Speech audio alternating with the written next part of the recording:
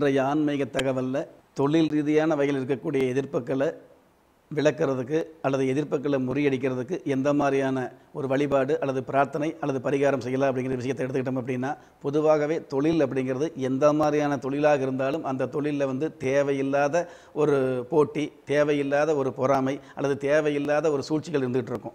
அப்படி இருக்கும் பொழுது அது சிறுந்தொழிலாக இருந்தாலும் சரி குறுந்தொழிலாக இருந்தாலும் சரி பெருந்தொழிலாக இருந்தாலும் சரி அந்த தொழிலில் வந்து தேவையில்லாத ஒரு போட்டி பொறாமைகள் இருந்துகிட்டு இருக்கும் அல்லது எதிர்ப்பு எதிர்ப்பு சம்மந்தப்பட்ட சூழ்ச்சிகள் அதிகமாக இருந்துகிட்டு இருக்கும்.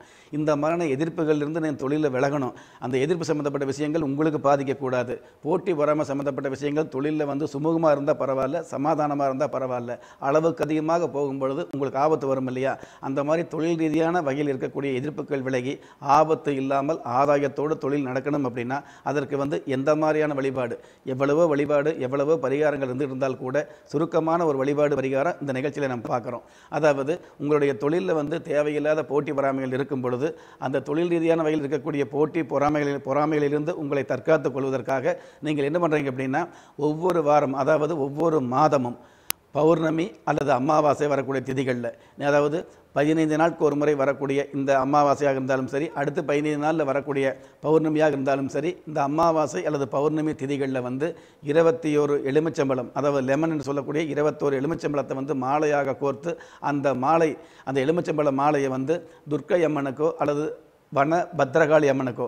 நல்லா தெரிஞ்சுங்க. துர்க்கை அம்மனை உங்கள் வீட்டுக்கு பக்கத்தில் துர்க்கை அம்மன் இருந்தால் துர்க்கை அம்மன் சன்னதிக்கு போகலாம் அல்லது பத்ரகாளி அம்மன் இருந்ததுன்னா பத்ரகாளியோட சன்னதிக்கு போகலாம் அந்த மாதிரி காளியம்மன் சன்னதியிலேயோ துர்க்கை அம்மன் சன்னதியிலேயோ அந்த துர்க்கை அம்மனுக்கு அல்ல அல்லது காளியம்மனுக்கு இந்த இருபத்தி ஒரு எலுமிச்சை கோர்த்த இந்த மாலையை அணிவித்து அந்த பூஜையில் கலந்துக்கிட்டு உங்கள் பேரில் அர்ச்சனை பண்ணிட்டு தொழில் ரீதியான வகையில் தொழிலுக்கு என்ன பெயர் வச்சுருக்கீங்களோ அந்த பெயரில் தொழில் ரீதியான இருக்கக்கூடிய பெயரில் வந்து அர்ச்சனை பண்ணிட்டு அந்த அர்ச்சனை பண்ணினதுக்கப்புறம் அங்கே இருக்கக்கூடிய அந்த அர்ச்சகர்கிட்ட அந்த மாலையை கேட்டு அதை இந்த நீங்கள் கொடுத்த மாலையை இல்லா இல்லாவிட்டால் கூட ஏதாவது ஒரு மாலை துர்க்கை அம்மனுடைய கழுத்தில் இருக்கக்கூடிய அல்லது காளியம்மனுடைய கழுத்தில் இருக்கக்கூடிய அந்த விக்கிரகத்துக்கு அணிவித்த லெமன் மாலையை உங்களுக்கு கொடுப்பார்.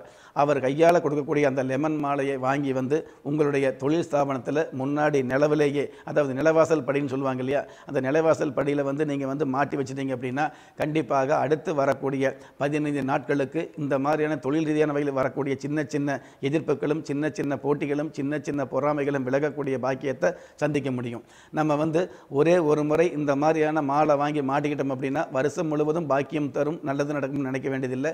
பதினைந்து நாட்களுக்கு ஒரு முறை கண்டிப்பாக இந்த மாதிரி. அதாவது அமாவாசை அதே மாதிரி பௌர்ணமி திதிகளில் இந்த மாதிரி அம்மன் சன்னதியில் துர்க்கையம்மன் சன்னதியிலேயோ அல்லது காளியம்மன் சன்னதியிலேயோ லெமன் மாலை வாங்கி போட்டுட்டு அதற்கப்புறம் அங்கே கொடுக்கக்கூடிய ஏதாவது ஒரு லெமன் மாலையை வாங்கி உங்களுடைய அந்த வியாபார ஸ்தலத்தில் வச்சுக்கிட்டீங்க அப்படின்னா நிலைவாசலில் மாற்றுறது நல்லதாக இருந்துகிட்டு இருக்கும்.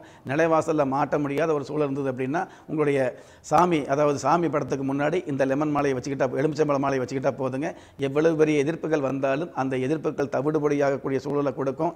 அகில உலகத்தில் இருக்கக்கூடிய அத்துணை எதிர்ப்புகளையும் அடியோடு தவிடுபடியாகக்கூடிய அற்புதமான சூழல்களையும் நிச்சயமாக கொடுக்கக்கூடிய வல்லமை இந்த எலுமிச்சம்பள மாலைக்கு இருக்குது அப்படிங்கிற விஷயத்தை நம்ம தெரிஞ்சுக்கலாம். நெஞ்சுக்கிணைய நேயர்களே ஒரு மனிதனை யாரு கைவிட்டாலும் ஆன்மீகம் கைவிடாது என்ற என்னுடைய ஆழமான ஆன்மீகத்தை பதிவு செய்து அகில உலகத்தில் உள்ள அத்துண தெய்வங்களின் அனுகிரகமும் ஈரேல் உலகத்தில் உள்ள எல்லா சக்திகளின் ஒட்டுமொத்த ஆசீர்வாதங்களும் உலக மக்கள் அனைவருக்குமே கிடைக்க வேண்டிய பிரார்த்தனையோடும் வாழ்த்துக்களோடும் உங்கள் ராஜயோகம் டாக்டர் கே. ராம்.